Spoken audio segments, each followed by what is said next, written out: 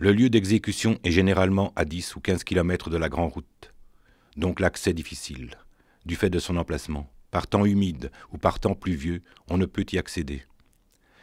Si les gens à exécuter sont conduits par camion ou amenés à pied, ils comprennent immédiatement ce qui va arriver, et ils s'agitent, ce qui est à éviter autant que possible.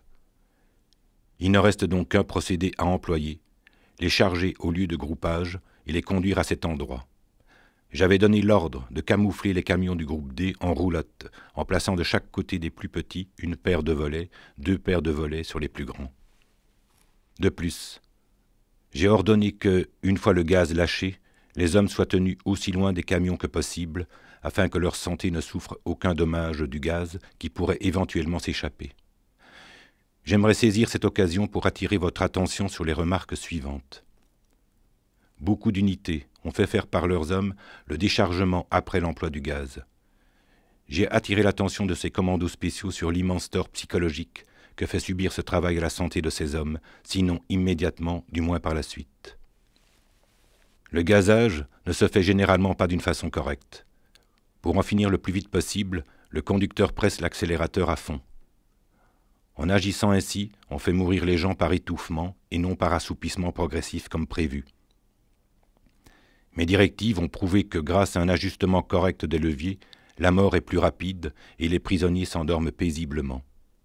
On ne voit plus de visages convulsés, plus d'excrétions, comme on en remarquait auparavant. Extrait d'une lettre du docteur Becker, sous-officier SS, au lieutenant-colonel SS Rauf à Berlin. Kiev, le 16 mai 1942. Très secret.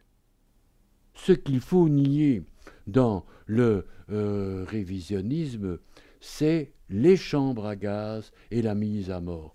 Or, on a beau euh, euh, dire que le génocide, c'est pas seulement les chambres à gaz, c'est aussi les fusillades.